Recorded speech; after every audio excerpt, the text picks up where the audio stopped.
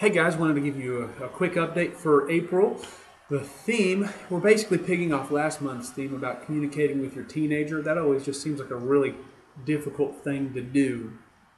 Um, as your teenager wades through wild mood swings and the ups and downs of adolescence, um, kind of like what we talked about last week, it can be a struggle for you as a parent to keep your cool uh, so, how do you respond in a calm, non anxious way when your teenager is literally screaming at you? There's this exercise that I read about. It's called the rewind and the flash forward. The first step is the rewind.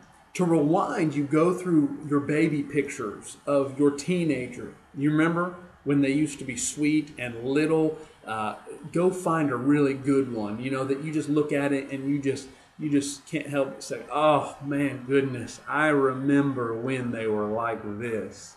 Uh, because what you want to do is when you look at that picture, I want you to experience this positive emotion uh, now I want you to take that picture and I want you to make photocopies of it, scan it, take a take a picture with your phone, make it digital, put it everywhere on on your cell phone background, your screensaver, um, print a thing off and put it in your dashboard in your car. Like ingrain that that that memory and that picture of your child in your mind of just when they were sweet and adorable and fun.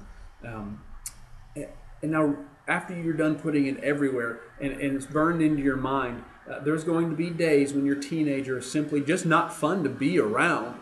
Uh, they're, they're fighting mood swings and, and, emotions and hormones and everything like that, and, and they don't even know how to deal with life sometimes. So they take it out on you.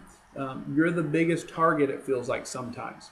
Uh, so when, when the only image in front of your face is a screaming teenager, uh, to stay calm, you may need to rewind to that image from their childhood.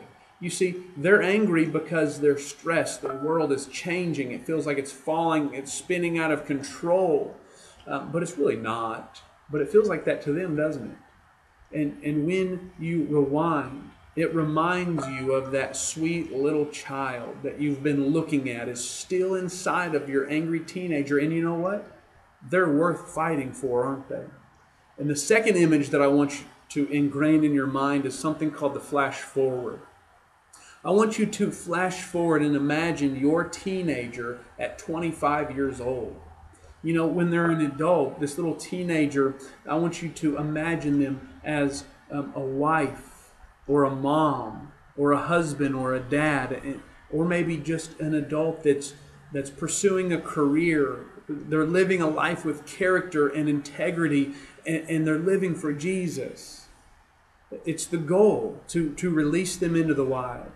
And when you rewind to remember that sweet little child that still lives in your teenager, and you flash forward to dream about the, the adult version of your teenager, it's going to help you stay calm and it's going to uh, help offer help you offer a, a, gentle answer to your screaming teenager. Like Proverbs 15:1 says, a gentle answer turns away anger, but a harsh word stirs up that anger.